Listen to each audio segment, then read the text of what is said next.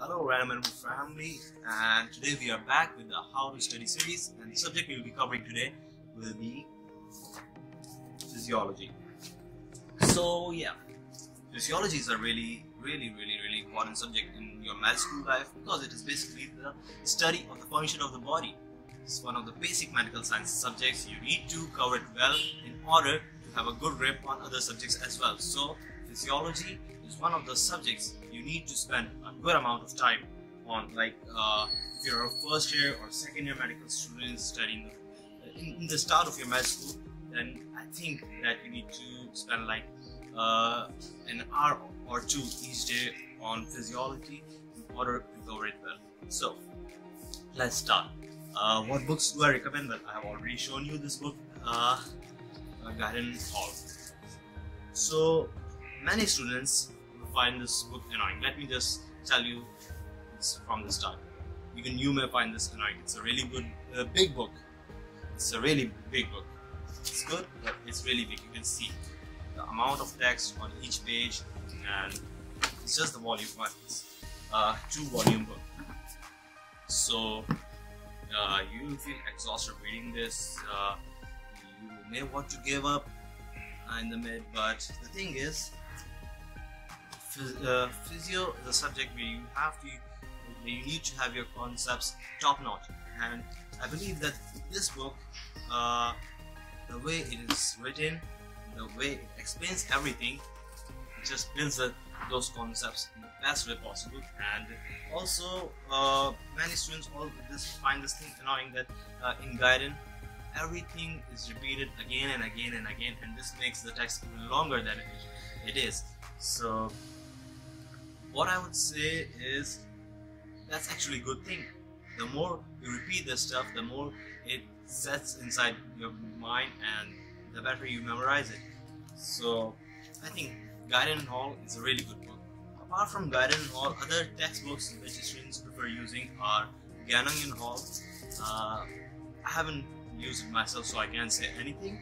Also there is this Costanzo book on which I'll come shortly. So just covered Guyton Hall, the textbook. It comes with this short review book. Uh, we call it Baby Guyton. The actual name is Pocket Companion to Guyton Hall, Medical Physiology. Uh, you can see it by the condition by the condition of this book that I have used it a lot.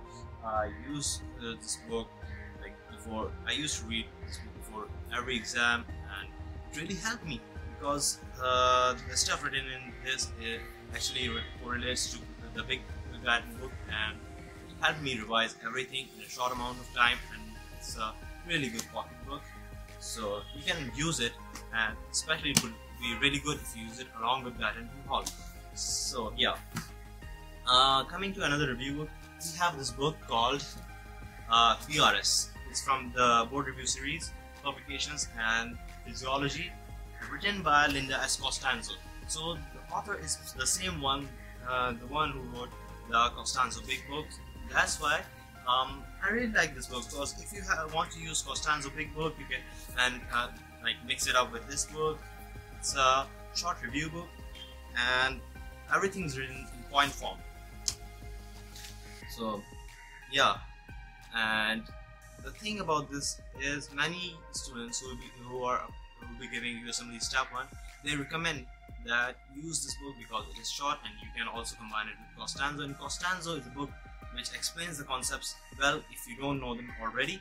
So yeah so the books I would recommend are Guyton Hall uh, the baby Guyton and for step one if you're studying for step one like I am I'll, I'll be using this BRS book uh, just uh, study physiology.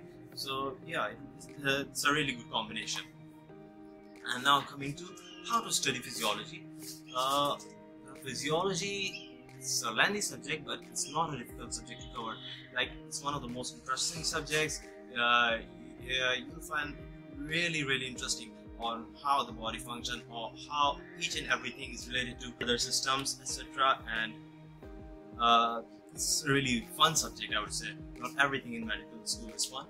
Uh, also um, a good way maybe I, I haven't used this technique but uh, many students recommend using this Feynman technique to study physiology because in physio you need to like I said before, you need to have your concepts top notch.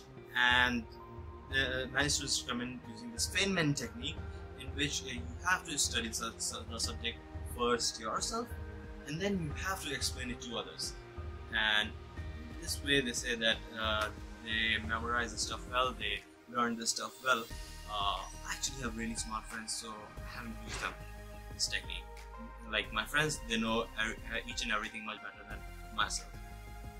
And now coming to what video lectures you um, you may watch.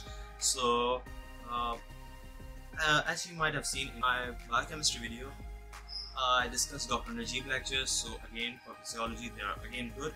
Uh, only downside is they are really really long, like one hour or 40 minutes or even two hour long lectures. So if you're in a hurry, you may not want to watch that. Uh, apart from that, there are Kaplan lectures. There are actually two sets. 2010 lectures and 2014 lectures and I would really recommend the 2010 ones. Why? Because they're really short videos, 10 to 20 minutes, they're to the point. Also the teachers covering them like Dr. Conrad and Dr. Kudra, they're really good. The 2014 Dr. Brett Wilson, he's also a good teacher, but the videos are like 4 hour long. So if you, for example, if you want to find something related to glomerular filtration rate, GFR, here you might have the video specifically on uh, GFR, but in 2014 ones you have to go through the uh, whole four hour long videos to find the GFR stuff somewhere in between. So that's why I would uh, recommend the Kaplan 2010 lectures. Um, so I think this video uh, covers maybe everything you might need to know about physiology and that's it for this video. I hope you liked it and if you did then like the video and do share it with your friends. These videos might actually help someone who really needs this information. That's it for today. I hope you do good in med school. I hope you study physio really well.